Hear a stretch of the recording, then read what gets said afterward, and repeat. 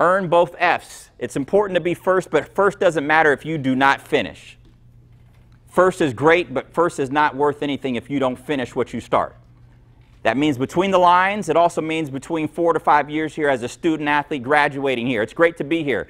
Great to be first in your family, maybe to go to college, maybe first to play Division One football. That's all great stuff. But that first does not matter if you do not what? What's the word? If you don't finish, that first does not matter. We cannot get accepting of just being first at anymore. We've got to make sure that we first and we finish. Otherwise, that first doesn't matter. So we have two F's when we talk about first. Anything I do, I'm happy to be first, but I'm not happy to be first if I don't finish.